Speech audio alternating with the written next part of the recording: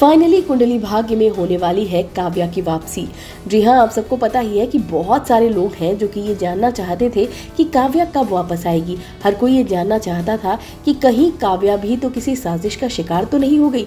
और ऐसा लग भी रहा था कि शायद साजिश का शिकार हो गई है काव्या, क्योंकि कोई काव्या की बात ही नहीं करता था। लूथरा हाउस में जैसे काव्या का ज़िक्र ही बंद हो चुका था। फैंस भी इस बात के बारे में सोच रहे थे कि भाई काव्या कब लौटेगी। अब यहाँ पर जो है ये बात क्लियर हो चुकी है कि काव्या जल्द लौटने वाली है और यहाँ पर आ जाता है करण के पास फ़ोन और करण बहुत खुश नज़र आता है और कहता है कि फाइनली काव्या जो है वो वापस आ रही है। काव्या के आने से बहुत खुश नज़र आता है यहाँ पर। काव्या के आने की खबर से कुछ इस तरह से करण के चेहरे की जो खुशी होती है वो आप देख सकते हैं। बहुत खुश होता है और साथ ही साथ बहुत इमोशनल भी होता है और वो कहता है कि मैं काव्या से बहुत प्यार करता हूँ। एक काव्या ही है जो मुझे प्रीता की याद दिलाती है। एक काव्या ही है जिसे मैं अपने दिल की बात कह पाता हूँ। तो यहाँ पर यह भी माना जा रहा है कि हो सकता है प्रीता की ही हम शक्ल हो काव्या। हालाँकि अभी कंफर्म नहीं है कि कौन काव्या का रोल प्ले करेगा, वो भी आप सबको जल्द देखने को मिलेगा। लेकिन एक बात तो तय हो गई है कि काव्या की वापसी होने वाली है।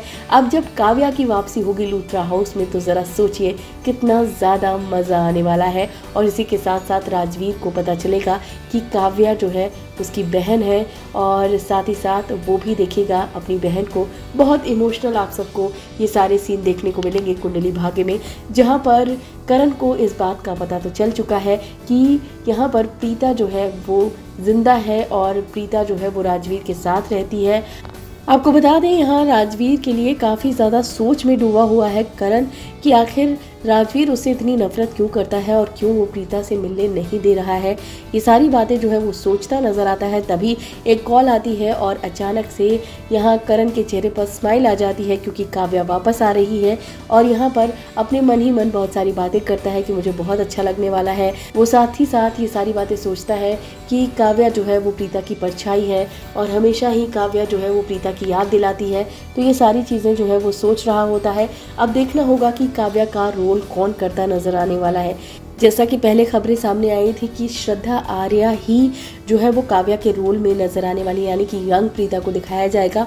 और माना जा रहा था कि शायद डबल रोल में श्रद्धा आर्या नज़र आने वाली है और काव्या का रोल भी श्रद्धा ही करती नज़र आएँगी। तो अब देखना होगा कि असल में काव्या का रोल कौन प्ले करता है और जब लूथरा हाउस में काव्या की एंट्री होती है तो क्या होता है निधि का? किस तरीके से निधि की बोलती बंद होती है? तो वहीं पर शौर्य और साथ ही साथ जो काव्य है, उसकी बॉन्डिंग किस तरह से होती है? फ़िलहाल यहाँ पर बहुत सारे इमोशनल पल आप सबको देखने को मिलने वाले हैं।